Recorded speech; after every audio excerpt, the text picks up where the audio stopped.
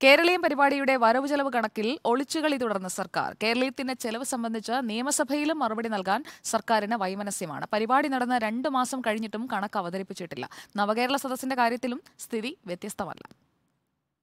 കേരളീയത്തിന്റെ വരവ് ചെലവ് കണക്ക് രണ്ടാഴ്ചയ്ക്കകം അറിയിക്കുമെന്നായിരുന്നു സംഘാടക സമിതി ചെയർമാൻ മന്ത്രി വി ശിവൻകുട്ടി നവംബർ ആറിന് പറഞ്ഞത്. മന്ത്രി ഈ ഉറപ്പ് പറഞ്ഞ് എൺപത്തിയഞ്ചാം ദിവസം കണക്കുകൾ ആവശ്യപ്പെട്ട് നിയമസഭയിൽ ചോദ്യങ്ങൾ വന്നു. കേരളീയം പരിപാടിക്ക് സ്പോൺസർഷിപ്പ് നൽകിയവർ ആരൊക്കെ? പരിപാടിക്ക് സർക്കാർ അനുവദിച്ച തുക എത്ര?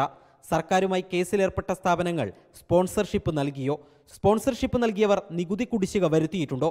ഇങ്ങനെ പ്രതിപക്ഷ നിരയിൽ നിന്നും എട്ട് ചോദ്യങ്ങളാണ് മുഖ്യമന്ത്രിയോട് ഉന്നയിച്ചത്. എന്നാൽ ഒറ്റ ചോദ്യത്തിനും മുഖ്യമന്ത്രി ഇതുവരെ മറുപടി നൽകിയിട്ടില്ല.